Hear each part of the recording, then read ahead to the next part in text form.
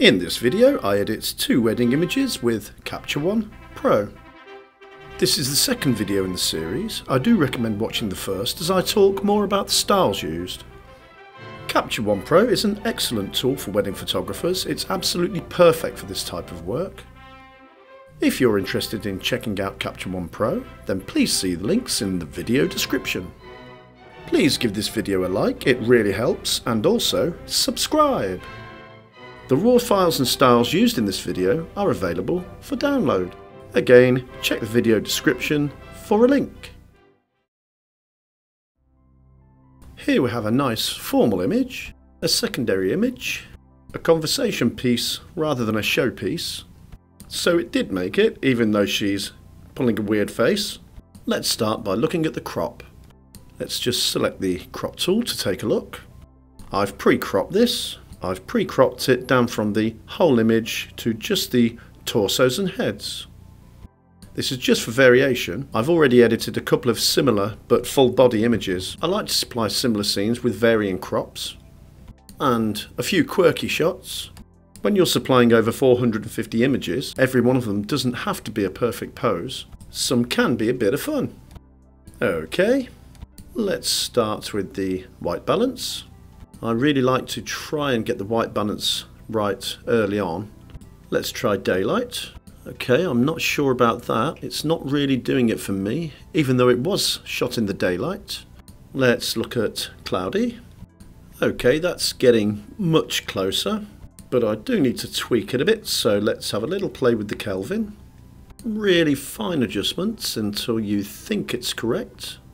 I think that's fine and also a little tweak on the tint just a little bit towards the green about there. That's not too bad a pretty good white balance I think. Now I'm going to add my preset. Please check part 1 for a description of this preset. Wedding basic. There we go I have a really nice starting point. For this scene I just want to further tweak a couple of the colours I want to deepen the foliage and do something with these blues. In the advanced colour tab we'll select the green first. Well they're selected by default so let's just make the greens a little bit more blue. I'd like the greens to be a little more bluey green for this scene. I definitely want to desaturate the greens a bit more. Okay, that looks fine. And darken them a bit. I'm using my mouse wheel to change the value here rather than the button. A lot of the time I find it easier to use the mouse wheel to adjust the sliders. That's good, but I want to affect just a little less of the yellows. Okay, I'm liking that. Now I just want to take a look at the blues. I think they need to be desaturated just a little bit. Again, use the mouse wheel just to bring the saturation slider down a tad. They were looking a little bit too saturated against the green, and I know that I'll be adding saturation a little later anyway. Okay, next to the high dynamic range and whack it all the way to 100 and set the shadows to around 25 which is sort of my standard start. Next I'll open up the histogram so that I can see what I'm doing and the exposure and the levels. I can't live without the histogram, it's really handy. Okay, so first we'll go down to the levels and bring up the blacks this may seem too much, but trust me, it will work when we brighten it. After a while, you just get used to how one tool affects another. Okay, let's bring down the whites. Well, bring up the whites by bringing the right hand handle left, just until the dress is just under being blown out. We can really lower this because we protected our whites with the highlight slider. Okay, let's look at the exposure. Let's up the exposure just a tiny bit we don't need much. And then down to the brightness. And let's brighten it up. Using the brightness slider at this point will have a really big effect on the image. It's up to the midtones and it's and brighten the scene and reduce the contrast. With practice you just get used to these things how one tool affects another and what you can do now and what you need to do now for later and now I'm going to just add a little bit more saturation. I think just about 10 will do, a nice round number. I think this edit is starting to take shape, starting to look really nice. Now to add some skin smoothing. I have my skin smoothing style here in the styles and presets. The first thing we have to do is to go to the color editor, skin tone tab, have a look, view selected color range, and as you can see we've got all of the skin selected and a bit of hair but don't worry it won't be noticed. Turn that off. Three dots and create mask layer from selection. That will create and select a mask for the skin. Go to styles and presets, right click on smooth skin and apply to selected layer. And bingo the skin will be slightly smoothed. For more detail on skin smoothing see part 1. Next I'm going to add a vignette, I normally do. Layers and plus. Press T on the keyboard to activate the radial gradient mask. Drag out to create the radial gradient. Center it and widen it a little bit like so. Then over to the exposure tab and lower the brightness just a bit. Okay, that's just about there. I'll do some fine control with the layer opacity. I use this vignette technique to even out the image rather than give a really noticeable vignette and to slightly focus on the center of the screen. I just think it looks a little nicer. Okay, time for cleanup. Grab our spot tool and I can see one right away on his sleeve and another one just here. I'll just reduce the size a little bit, then zoom in a bit and move around to check the photo and I'll just take out the most obvious little glitches and patches and blotches. Let's zap this really noticeable one on his collar. Just reduce the size. Next, get rid of this spot on his neck. That didn't work. Okay, try again. There we go. And he does have a few spots on his face, so let's zap them. I'll just get rid of anything that looks like a zit. He might even thank me later, who knows. Okay, I'm not going to get rid of that. That's actually a feature. I don't touch features, but I will get rid of this little burn. I know it's a burn. She has a little bruise here, which she asked me to remove, so I will. Okay, she's done, so let's move over to sun number two and get rid of the zit. I hope they appreciate this. Now just a quick check down his suit. Now I may miss a few because I'm recording a tutorial at the same time, but I'll have a quick look over it later just as a final quality check and remove anything else that needs to be removed. Let's zoom out and have a look around just to make sure it's all nice and clean. That looks pretty good to me. As a final step I'm going to my background and levels and brighten it up a bit more if I can.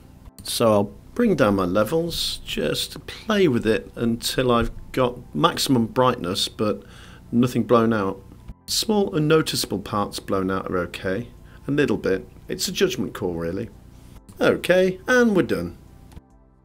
Okay, let's take a look.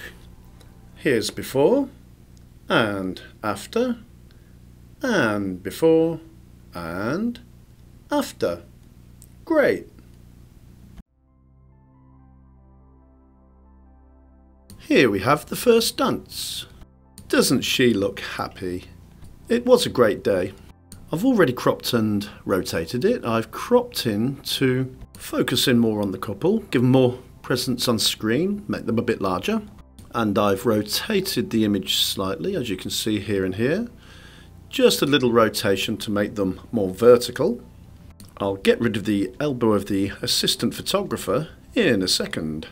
This is going to be quite a fun edit and I'll start with the white balance. And as we have multiple light sources, all different colours, I'm going to adjust the white balance manually. So, there we go, just tweak it. I think about 5725 will be fine for the Kelvin. Uh, about 2 for tint, that's fine, not too blue, orange, green or magenta. Now for the dynamic range, so let's just open that and up to 100 and shadows to about 25 I think, as usual. My standard start point. Next I'll tackle the levels. I'll start with whites, because I want to make everything bright. The dress and the whites, the highlights anyway. Now I need to adjust the midtones. This is a darker scene. And then add a little contrast with the blacks. Here we go. And that looks like a good start for the exposure. Now, at the moment I'm pretty happy with the overall exposure, but one thing I haven't done yet is to apply my wedding style, which will bring down the contrast a tad. Open Styles and Presets, and click Wedding Basic. So, after adding our Wedding Basic, you can see that the contrast has been set to minus 15, and all I want to do now is just add a tiny little tweak to the exposure. There we go just a little brightening of the whole scene. I will be darkening the edges later quite a lot, creating a nice dance floor scene for them. Okay, I'm going to be building up multiple layers to create this scene, layers of light, so I think I'll start with a nice strong vignette. Press T to bring up the radial gradient tool and create a nice circular spot just reaching their heads and then fading out about that much. Now I'm going to bring down the brightness quite far. I'm using brightness rather than exposure to start with as it leaves the highlights, the lights, as they are. Then bring down the exposure to enhance the spotlight effect. That's pretty nice. A good start. I'm trying to enhance their moment, so to speak. I think I'll just give it a little tweak, just expand that a tad more and move it into position. We're starting to get the effect we're after, so next I'm going to lighten them up, lighten their bodies and put a spot by their feet.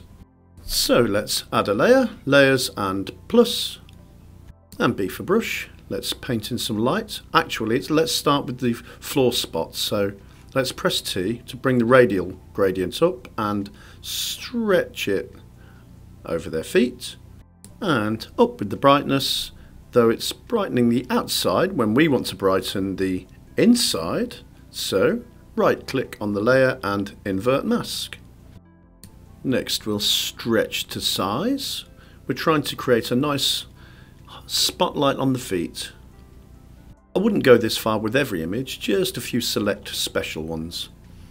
So let's increase the brightness. Oh, we go. I think that's fine. Now to just retweak the size and the fall off. Take a look. Okay, that's brightened nicely, though it is a bit harsh, so let's just tweak it again. Press B for brush, and now I'm going to draw the brightness into the dancers to light them up. As I apply my brush, it looks more and more like a spotlight shining down on them. Shrink the brush to apply light to the more detailed areas, like so. There we go. All drawn in. Now I think I'll just have a little play with the exposure. Let's see if we can just get this level correct. You really do have to play with things to get them right experiment.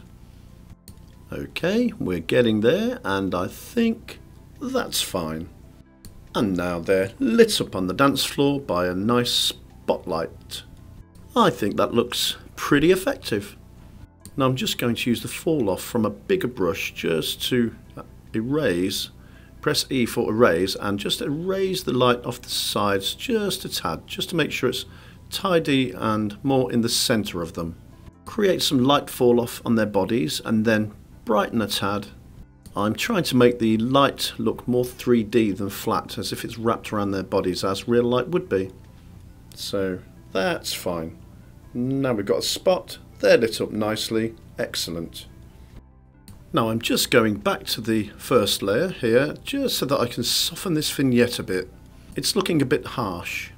Again, when you're doing this type of editing, you will need to go back and forth and tweak things until they're correct. I do want it more focused into them, but I don't want the fall off to be too harsh. That's better. Okay, time for skin smoothing. We'll smooth the skin using my styles. So here we go. All we have to do to smooth the skin is go to the colour editor, but first make sure we have the background layer selected, then to the colour editor, not the colour balance, the colour editor, skin tone, three dots and create masked layer from selection. It will create a layer and select it for us, so now all I have to do is go to styles and presets and right click on smooth skin, then apply to selected layer. That's it, the skin has been smoothed. And looking at it, I think I want to make it more dramatic. So if I go to the layers and my big vignette layer here, layer 1, and if I increase the contrast by quite a bit, it will bring out the lights and darken the shadows. Now they're in a bright star field against the darkness. We could enhance it even more with the levels. So bring down the lights, bring up the brights, and bring down the darks. That's pretty good. Make sure we get the levels just right. And then press T for the gradient tool. It's still looking a little abrupt, a little harsh. So I'll just soften it up a bit more. And I think that looks a lot more realistic much nicer. Now I really would like to increase the brightness of this circle at their feet. As I don't want to light them up anymore, I don't want to light their bodies, I just want to light the floor. I'll add another layer, press plus, and press T to drag out another gradient, just affecting the area of the floor where they're standing. Then increase the exposure, like so. And of course, it's affecting the outside again, so remember to invert the mask. Now we can increase the exposure of the light at their feet, like so, and soften it a bit. Okay, that's looking good. Then press E for my eraser, and then set the size to nice and small, and reduce the opacity, and go in and just erase the light away from the bottom of the dress and feet because it looks unnatural as it is. It looks like it's overlaid. And now they're dancing in a circle of light. There's a circle of light at their feet. Looking good. Now I just want to light her face up as she's looking a little dark. So go back to the highlight layer, layer 2, and grab my brush with B and just paint the light in onto their heads and shoulders. And maybe just increase the brightness a tad more. Let's take a look. Okay, uh, that looks better. In fact, it looks a little uneven, so I'll get a bigger brush and just go over them and light them up a little bit more. More even out the light. That looks better. That's looking really nice now they're well lit up the centre of their own world. Now I just want to go back to the base layer and increase the saturation a little bit, make the scene more colourful and dreamy, and just increase the impact by increasing contrast with the blacks on the levels. There's no getting away from tweaking when you're doing this type of edit. Select our spot tool and in we go for a bit of a cleanup first of all. Remove the bruise that she asked me to remove. Then look round, make sure there's nothing else that needs to be removed. It looks like the image is all nice and clean and blob free. A quick look around, we're fine. Now, we did have an elbow in the scene earlier, but because we've darkened the edges, it's gone. We don't need to remove it. Great. I'm not going to bother trying hunting for it. As far as I'm concerned, that is gone. And we're done. It's quite surprising, amazing really, what you can achieve with Capture One Pro in 12 minutes or so. So let's take a look at our work. Here's before, and here's after, and before, and after.